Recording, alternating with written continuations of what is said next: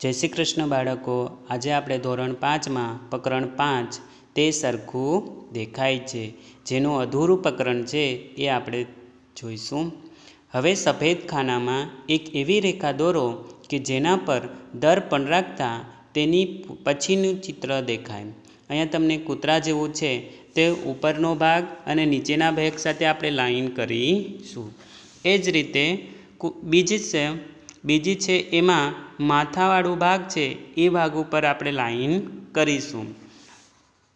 ઈમાં સામે તમને આપેલું છે, માથાવાળી લાઈન પરથી પાછળનો ભાગ સુધી સીધી લાઈન કરવાની છે, આડી. એ જ રીતે નીચે બે આપેલું એફ આપેલું છે, એમાં પણ તમે એક ઉપરનાથી નીચે સુધી લાઈન કરી શકો છો. વિકી એ લાલ અને સફેદ આકાર બતાવ્યા છે.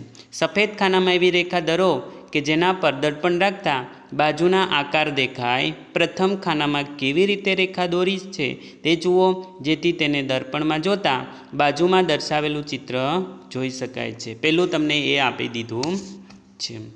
એમાં કેમ કરેલું છે? પછી બીની અંદર પણ તમે તમે લાઈન સીધી કરી શકો છો. સીની અંદર પણ લાઈન સીધી કરી શકો છો. ડીની અંદર અને ઈની અંદર એ તમારે તમારી રીતે લાઈન કરવાની રહેશે.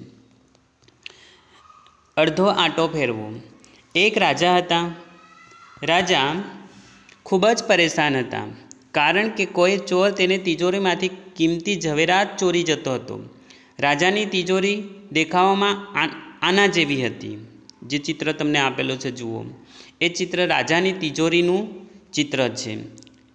તિજોરીનો હાથ, હાથો અડતા અડધો ફેરવવાથી તિજોરી ખુલી જતી હતી. હાથાની ફરીથી અડધો ફેરવતા તિજોરી બંધ થઈ જતી હતી.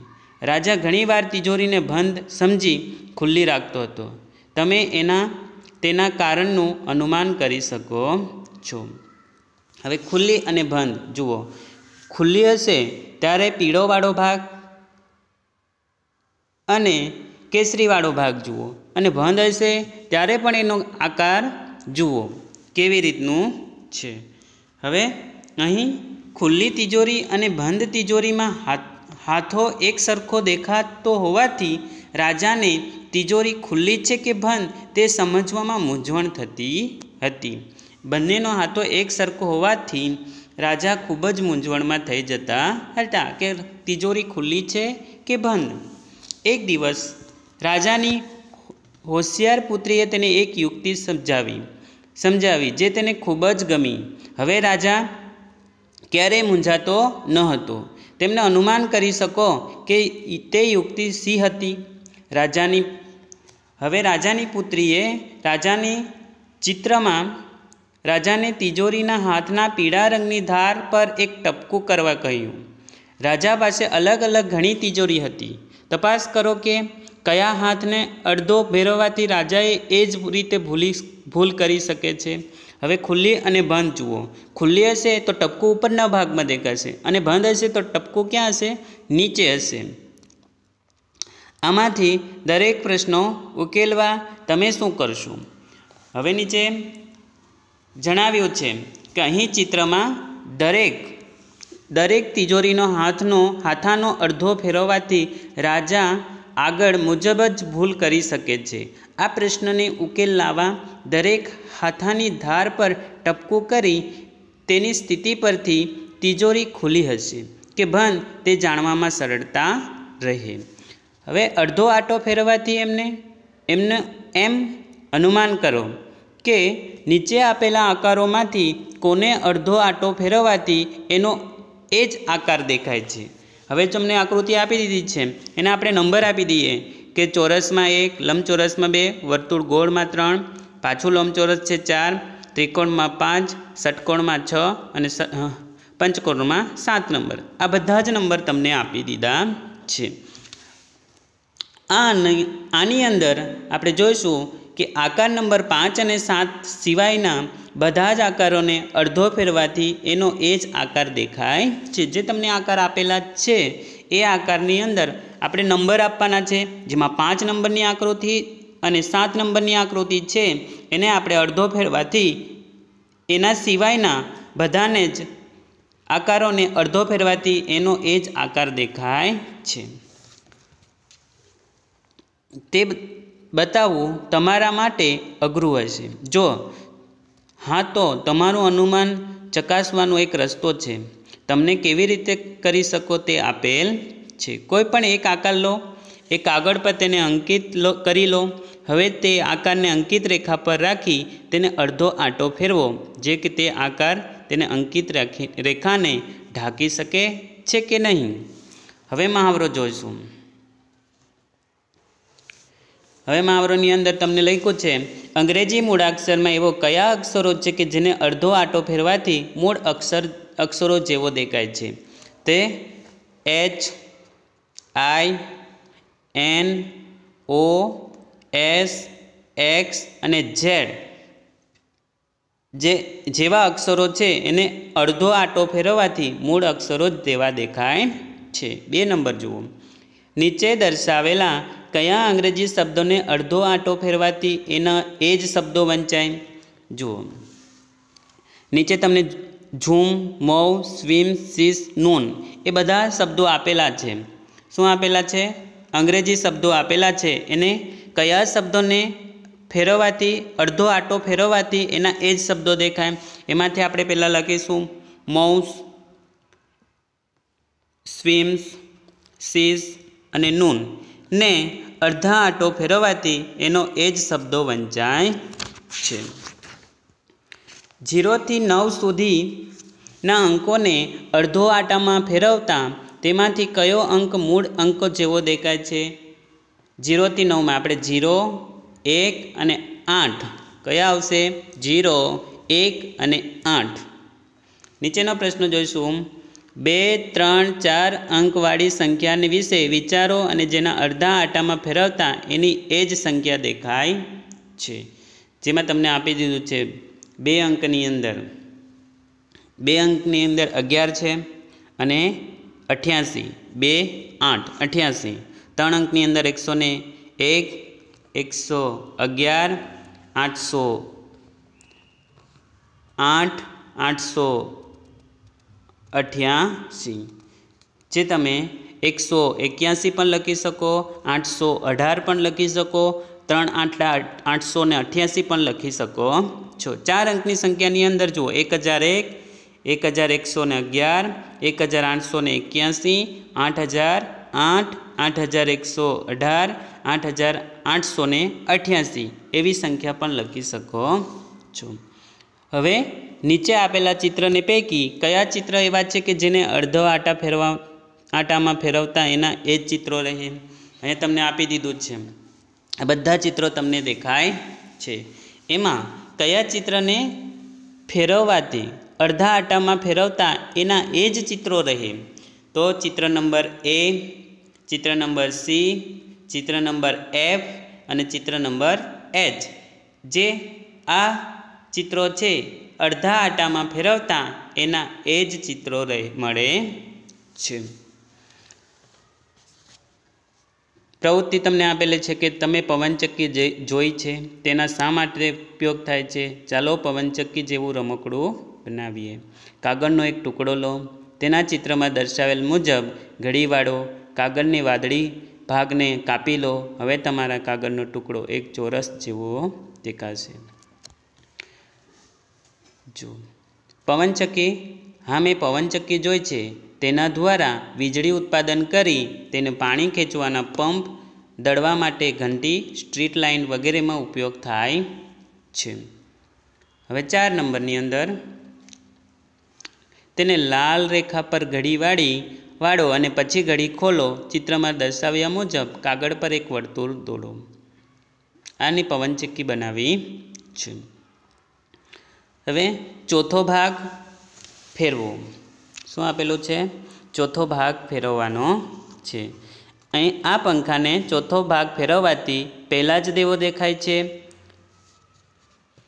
અહીંયા તમને પહેલાં ફેરવી, ફેરવ્યા પહેલાં, ફેરવ્યા પછી. અહીંયા લખ્યું છે કે શું? નીચે ચિત્ર આપેલ પંખો પંખાને આપણે ચોથો ભાગ ફેરવાથી પહેલાં જેવો દેખાશે ના. પહેલાં જેવો દેખાશે તો ના. આપેલ પંખાને ચોથો ભાગ ફેરવવાથી પહેલાં જેવો દેખાશે નહીં. કારણ કે ચોથો ભાગ ફેરવાથી પંખાને વાદળી રંગની ધારની જગ્યા પર પીળા રંગની ધાર આવી જાય છે. ચોથો ભાગ ફેરવવાથી વાદળી રંગની જગ્યા પર પીળા રંગનો ભાગ આવી જાય છે. હવે નીચે આપણે જોઈશું કે મહાવરો છે કે નીચે આપેલ આકારો પૈકી કયા આકારને ચોથો ભાગ ચોથો ભાગ ફેરવાથી તે પહેલાં જેવો દેખાય છે તેની નિશાની કરો. પેલું એક ચિત્ર આપેલું લીધું છે, જુઓ. છે ને? એ ચિત્રની અંદર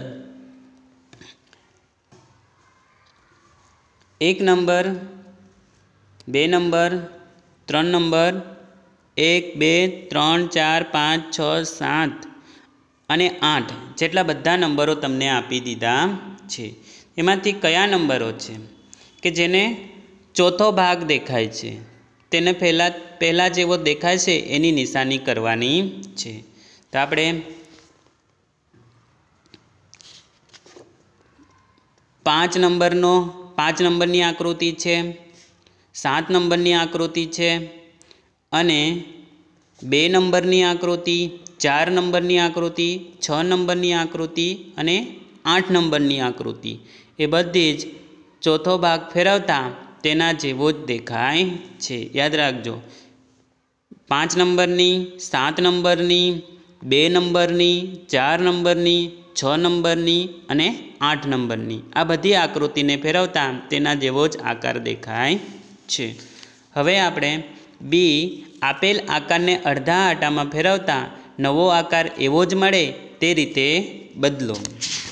આમાં તમને પાંચ જેટલી આકૃતિ આપી છે. એના જેવો જ આકાર મળે, એને આપણે એવો જ મળે તે રીતે આપણે બદલવાનો પ્રયત્ન જાતે કરવાનું છે.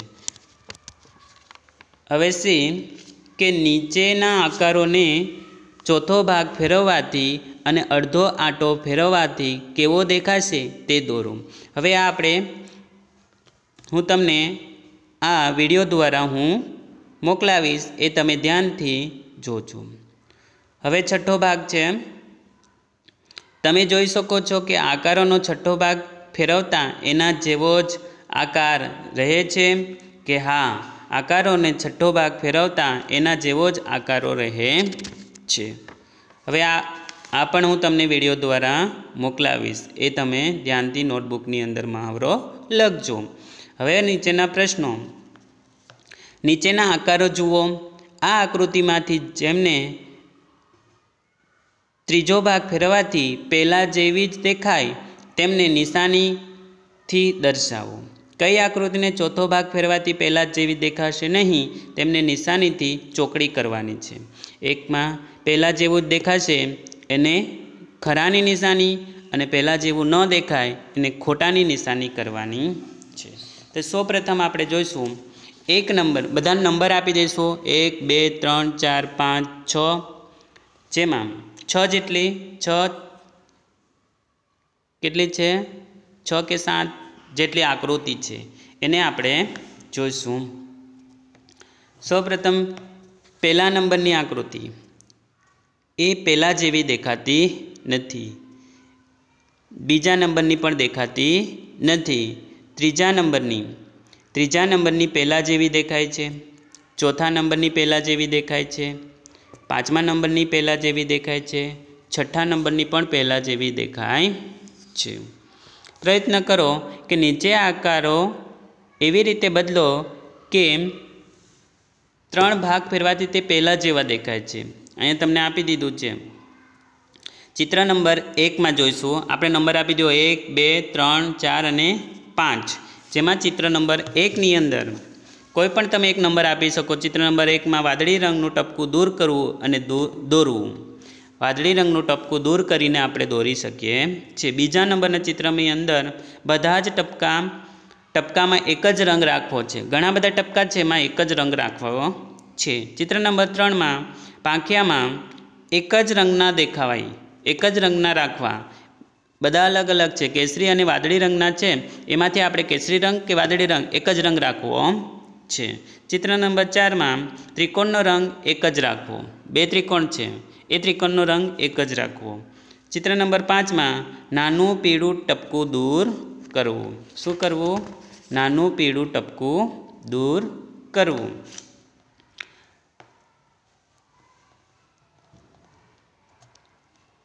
હવે કેટલાક એવા આકારો દોરો કે જે ત્રીજો ભાગ ફેરવાથી પહેલાં જ દેખાય. જે આપણે એ તમારે દોરવાનું રહેશે. કેટલાક એવો આકાર દોરો કે જેને છઠ્ઠો ભાગ છઠ્ઠો ભાગ ફેરવાથી પહેલાં જેવો જ દેખાય છે. હવે નેક્સ્ટ વિડીયોની અંદર આપણે આના મહાવરા જે બાકી છે એ જોઈશું અને કેટલાક જે પેટર્નો આવતી હશે એને પણ આપણે વીડિયો દ્વારા સમજીશું.